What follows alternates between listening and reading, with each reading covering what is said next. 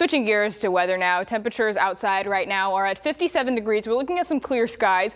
This dew point this evening is at 51 degrees, and as those two numbers get closer, we could be seeing some reduced visibility. We're already beginning to see that reduced to seven miles. That's not really a problem, but as we get to the evening, we could be seeing continued reduced visibility along with these calmer winds.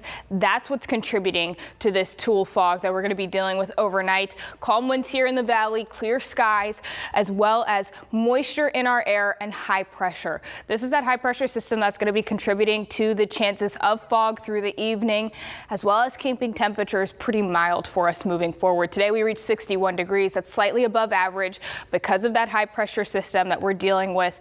And as we continue into the weekend, we could be dealing with some rain chances beginning uh, into the afternoon on Friday, as you can see through our mountain communities. But as we get to Saturday, we could be seeing some of those scattered thunderstorms. Saturday night is when we're going to be seeing more widespread impacts. Heavier rain and thunderstorms are expected across the county, and we could be seeing that last into Monday. Monday is when we could be seeing the most significant impacts with this storm system. This could be the heaviest rainfall that we've seen so far this year. In addition to this, we're looking at a winter storm watch in effect that's lasting through Tuesday early Tuesday morning for our highest mountain communities. That's extending up to the Sierra Nevadas, but only really impacting us here in our northernmost Kern Mountains. As we get through tonight and tomorrow, overnight lows are expected to be in the 40s.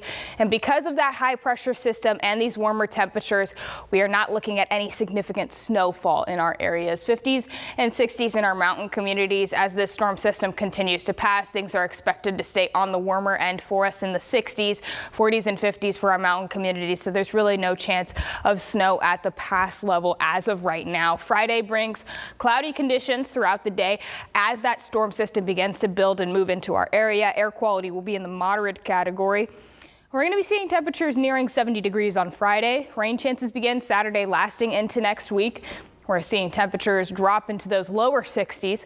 Our mountain communities are going to be looking at highs mostly in the 50s for Lake Isabella, 50s dropping down into those upper 40s for Tehachapi and Frazier Park. Rain chances beginning on Saturday, lasting into next week for our mountain communities. And like I said, we're not expecting any significant snow.